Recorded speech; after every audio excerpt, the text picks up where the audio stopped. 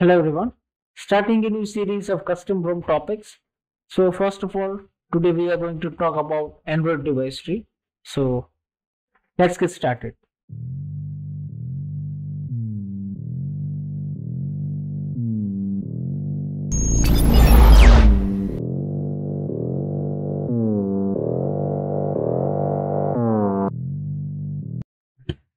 Device tree. All you need to know about device tree is in this statement.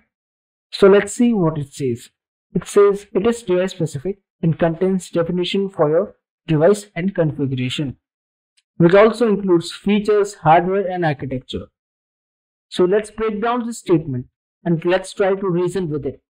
So why it is device specific and how it is device specific. First of all, each device is different. Each device has its different hardware and each device has its different chipsets. That's how it is device specific and it, it is different for each device. It contains definition. Well, because when you are compiling your custom ROM, how the compiler will know for which device the ROM is going to be.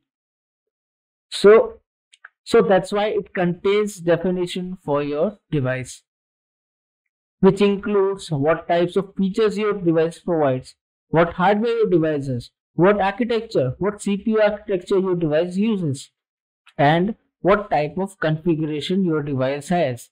So the configuration files for NFC, Bluetooth, Wi-Fi and other types of features, it needs to be defined somewhere.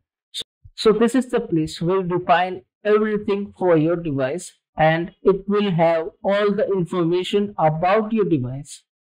So this is the basic work of a device tree and the changes in device is based upon which Android version you are targeting for your device.